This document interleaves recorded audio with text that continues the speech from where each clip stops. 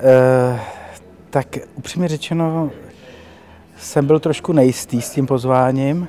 Ne, nevzal jsem to jako úplně, úplně bez obav, e, protože samozřejmě tu show znám. Ale beru to jako určitou výzvu, že to člověk zvládne, tak možná i tak. Ale trošku jsem váhal. Bylo to nahonem, že jo? Takže jsem váhal určitě.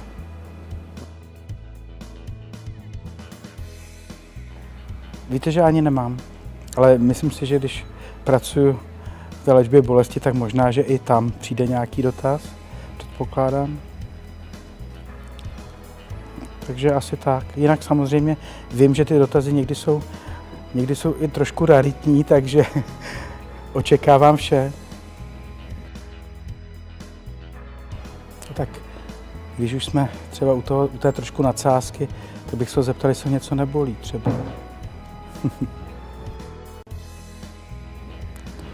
tak jsou to takové smíšené pocity, ale určitě i, i se těším. Ten pocit tam taky je.